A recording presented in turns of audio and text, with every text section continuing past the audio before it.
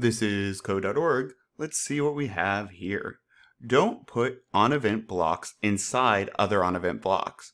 You almost never want to. That is completely true. They say almost because like if you're playing a video game and you want to shoot left, well, on the event that the joystick is held to the left and the left and the shoot button is clicked, something like that.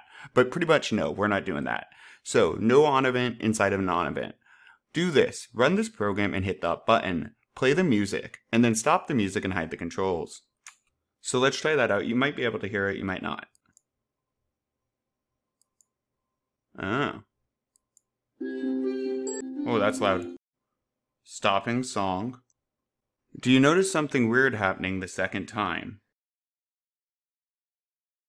Oh. Uh-oh. Oh, it's playing a... Oh, it won't stop. Make it stop. I'm gonna mute it. Okay, so it's playing us some... Discuss with your partner why this happened. Uh, reset. Okay, there we go.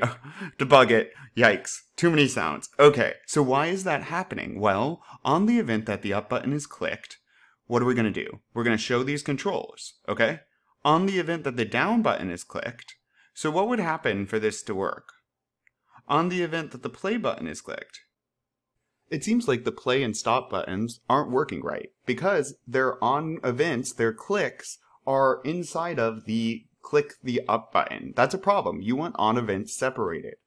So the weird behavior that we're seeing is happening because of this requirement. We once we click the up button, then it will allow us to work with all these other buttons. That's not what we want though, right? We want these to be independent. We don't want to have to click the up button, click the down button. That's not what we need we won't have to put these inside of each other because their property is hidden anyways, right? So we don't need this on click event inside of another. We won't be able to click on the button if we don't want the user to be able to. So if the user has not clicked the up button, the down button doesn't even exist. So we can have on event down or stop button outside of this because it doesn't matter. The user cannot see them. They are hidden if they have not clicked the up button, right?